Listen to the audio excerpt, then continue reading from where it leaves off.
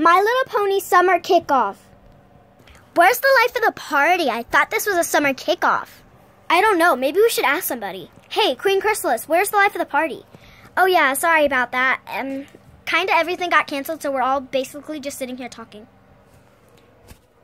Knock, knock, knock, knock, knock, knock. Who could that be? Hi, everybody. What the heck, Mom?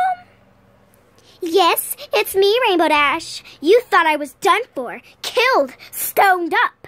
Well, no one can stop me. Not even you. Not even you. Now, I came here today to tell you that you are still having foot fungus. Mom, I don't understand why you don't announce why you announce this in front of all my friends instead of just texting me. Because you have been irresponsible with this.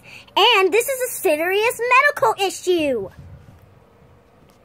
Oh my god, just get out of here, Mom! Did you just hit me? So what, Mom? Just leave. Rainbow Dash, I said no one hits me! Oh, my back! Oh, Mom! Ugh.